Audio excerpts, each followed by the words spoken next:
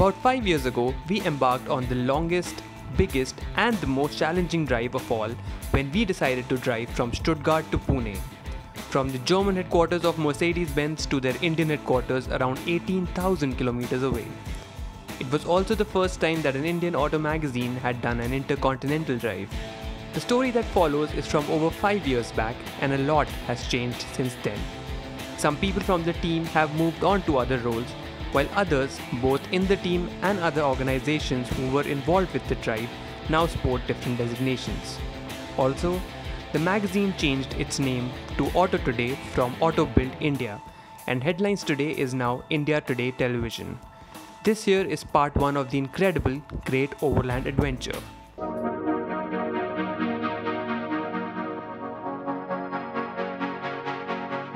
The rugged road, the quaint, unheard towns, the terrain that changes every half hour.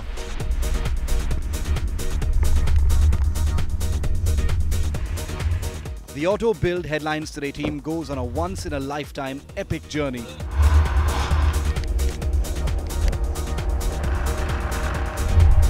It is this thrill of being on the road, not for hours, but for days, for weeks, and for night on end. As the great overland adventure maps out past new cities and towns across ever changing terrain, every new day is a challenge, and every day past is a memory to be cherished. The vehicle of choice for this journey is the Mercedes GLA 200 CDI, and the support car is a GL 350 CDI. I think you picked the perfect car, our new compact SUV, very robust to go on this very big trip. These cars had to be shipped to Frankfurt after being registered in India, decked up in their proper livery for this epic journey. The great overland adventure was flagged off at the Mercedes Benz Stuttgart headquarters in Möhringen, destination set for Pune in India, 17,800 kilometers away.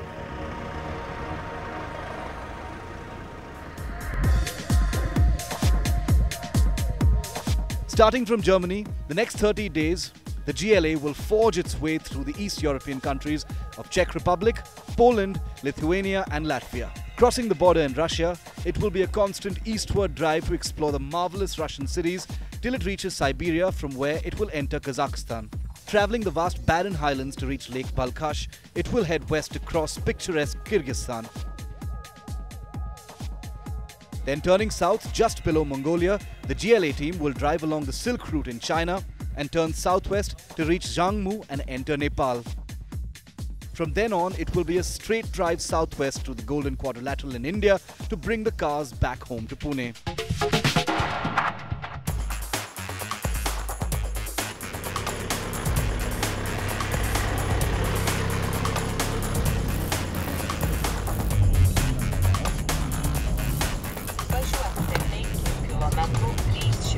We're going to head off to Prague. Prague is 450 kilometers.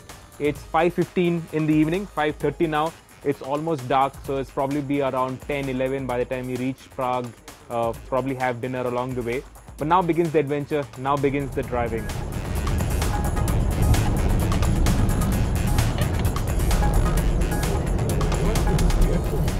So we are finally on the road and it looks like we've got out of Stuttgart at peak traffic time.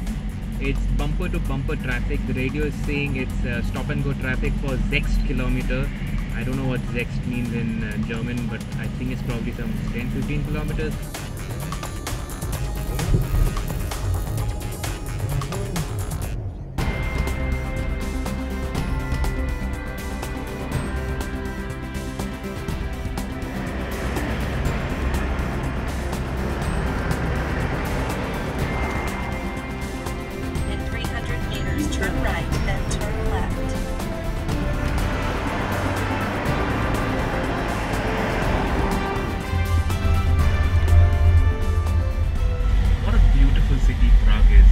We are driving around now through the old part of the city. It's narrow cobblestone lanes. I don't think we should be in here. We're going past the Charles Bridge. It's a historic monument in the city. Actually, the best way to discover the city is by foot.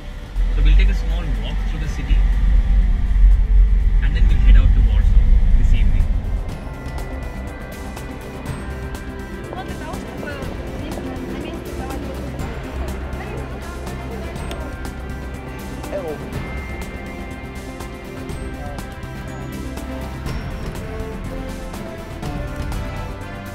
is the Charles Bridge, a historical monument in the city.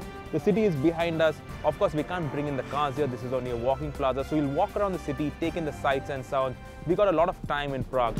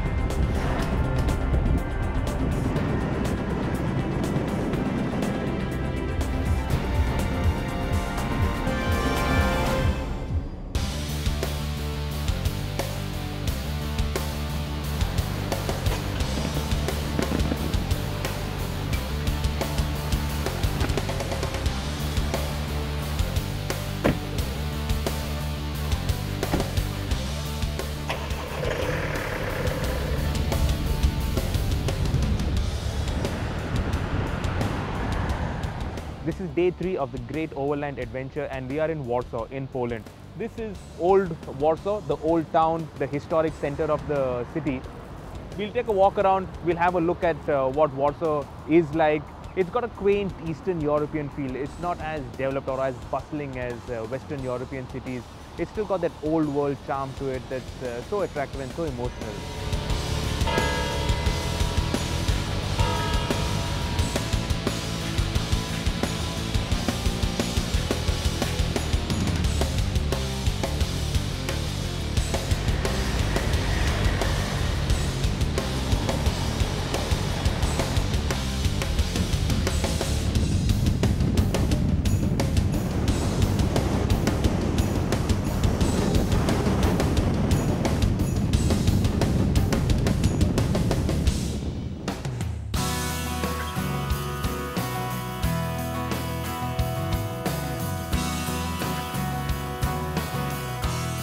Day 4 of the Great Overland Adventure and we are at our fourth country. This is the Lithuanian border crossing. Today we head to Vilnius, which is the capital city of Lithuania.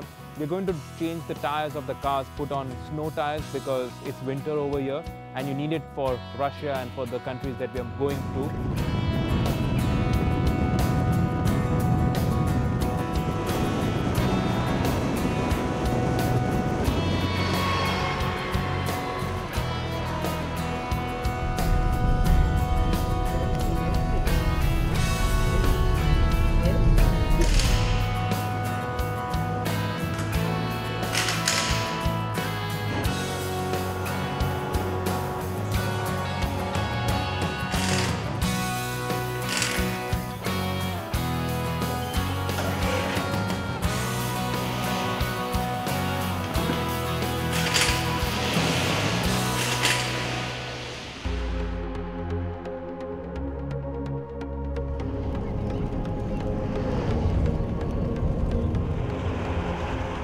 Driving due east, it took the GLA team almost a day to get past the Russian borders, getting the paperwork sorted for the cars to continue on their drive.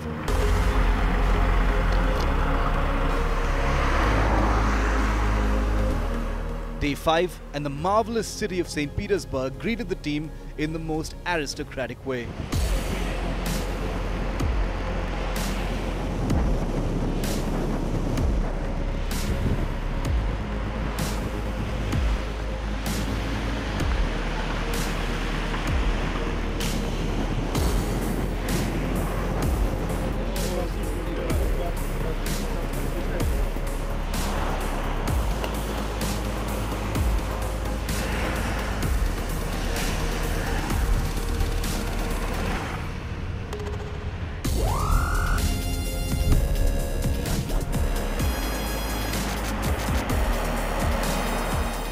St. Petersburg.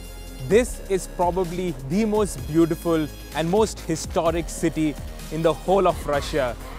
Just look at this. The city takes your breath away. As we started rolling into St. Petersburg, we wanted to stop at every building. Everything is built in this old Soviet style of architecture. It's huge, massive, great monuments all over the place. But Vitol Das told us to come here. This is the old town square and it It just takes your breath away. It's unbelievable. It's so beautiful. I don't want to carry on. I just want to spend weeks exploring St. Petersburg.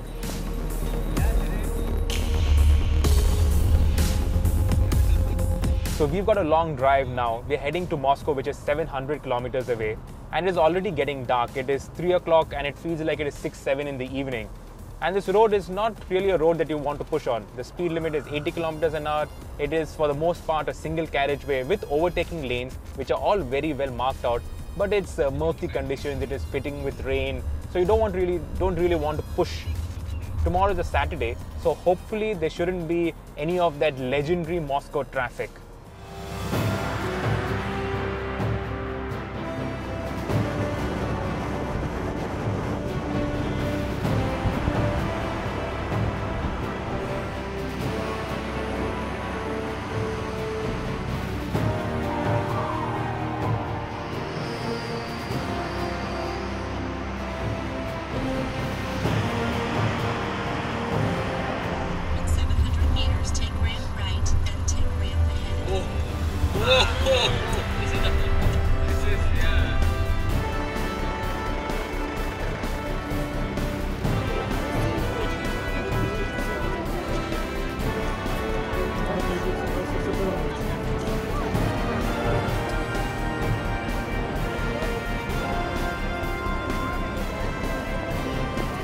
Behind me is the iconic Red Square with the church, the Kremlin.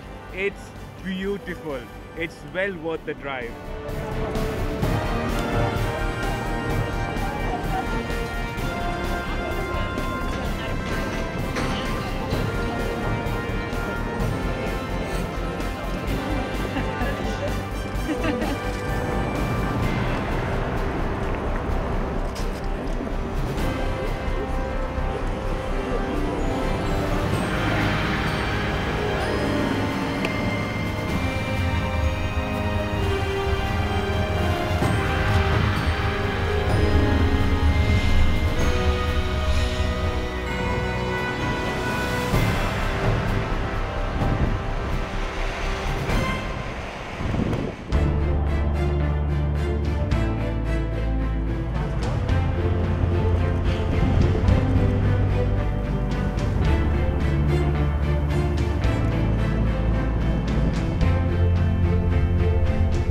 Driving through the Russian towns and cities, the GLA team was stopped by a bunch of cops.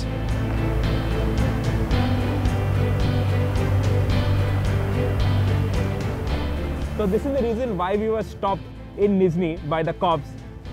The cars have become filthy. It's been raining. There's a lot of grit on the road. But we don't want to clean the cars because these cars look like expedition vehicles now. Only thing, get the number plate cleaned up. Let all the Russian cops know that these are cars registered in India, in Pune.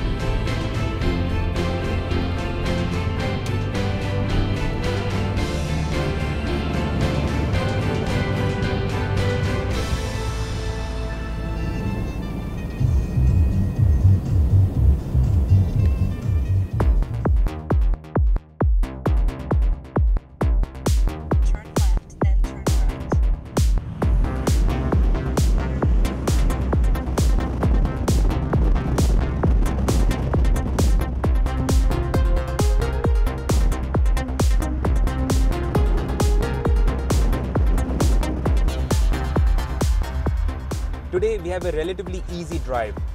As we're heading east into Russia, the roads are now beginning to fall apart.